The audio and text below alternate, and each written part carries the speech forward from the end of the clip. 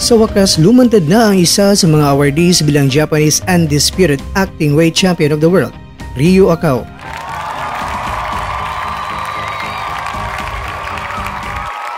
Ngunit sa kanyang paglantad, pinanata naman ang ating kaubayan na Unified Super Bantamweight World Champion na si Marlon Tapales.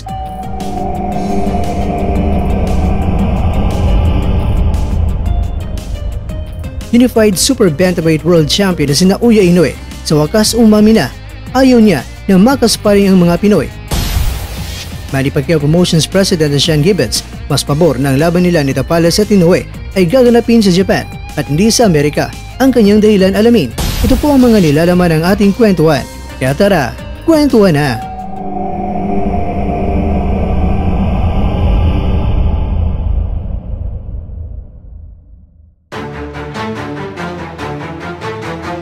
Mapagpalang araw sa inyong mga kwento at marigayang pagbabalik. Sobrang prangka itong si Akao sa pagbibigay niya ng prediksyon sa paparating na laban nila ni Tapales at Inoue. Kasama ni Akao sa pagbibigay ng fight prediction ay ang former 2 Division World Champion na si Hiroto Kyoguchi. Ayon kay Akao, ang laban ni Inoue kontra kay Tapales ay mas exciting kaysa ikumpara mo yan sa labang Inoue kontra kay Stephen Fulton. At ayon sa dalawa, may pagkakawig daw sa exclusive power ang taglay ni Tapales at angas ng Pinas na si John Riel Casimero Nako ah, kasali pa rin dito si Casimero sa usapan nila.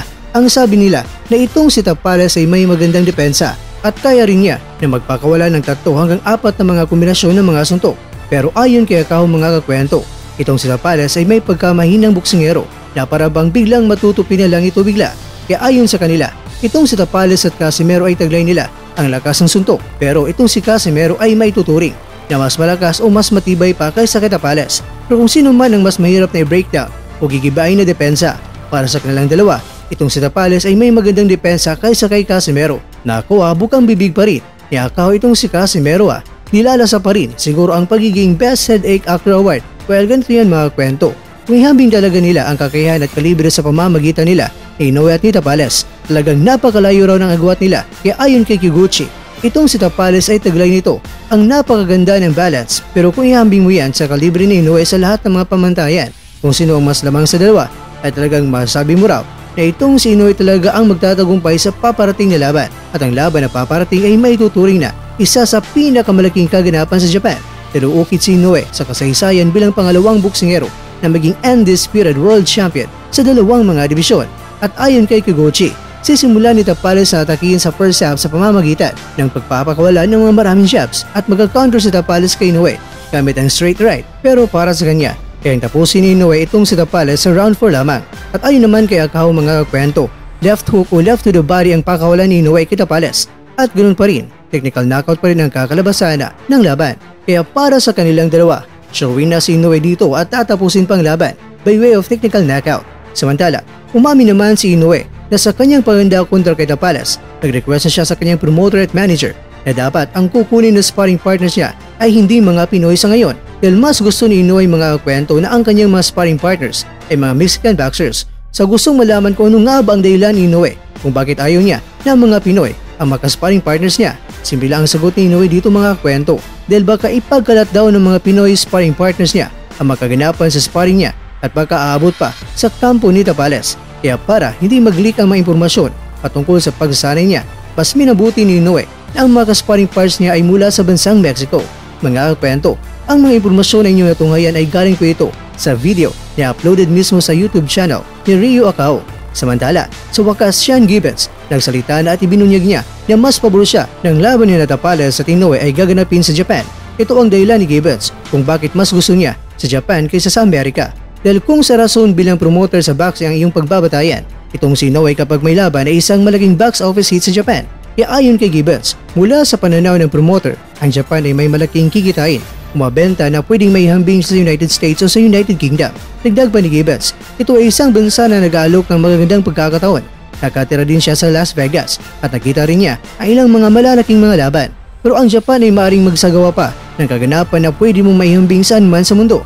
At higit sa lahat mga kwento ayon kay Gibbons, ang mga Japanese boxing fans ay masigasig at may di matatawaran na suporta. In short mga kwento, gusto ni Gibbons sa Japan kasi mas maraming kikitaing um, alam siya na.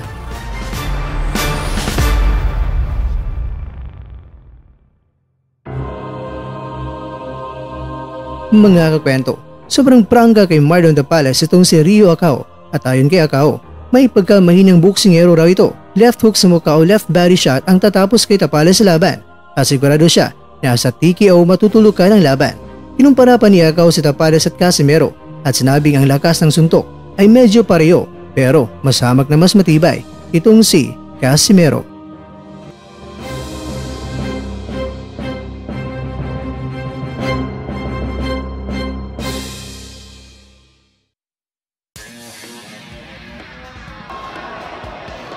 Puro boylo eh. Suntok niya eh. Puro boylo. Bakit?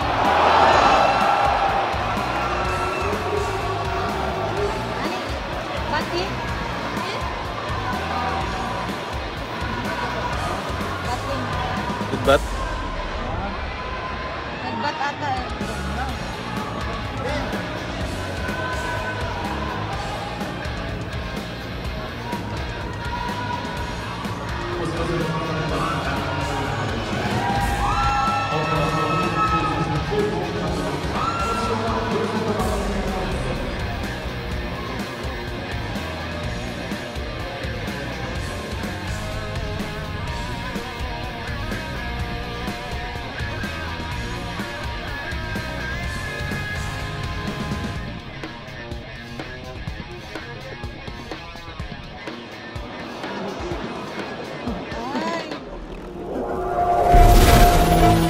At dyan nagtatapos ang ating kwento.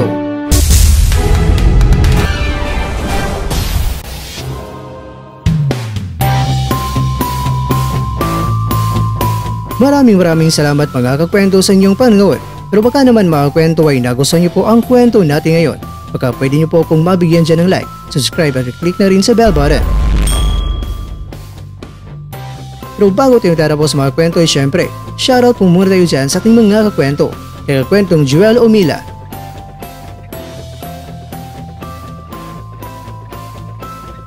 Ikakwentong Lino Reyes.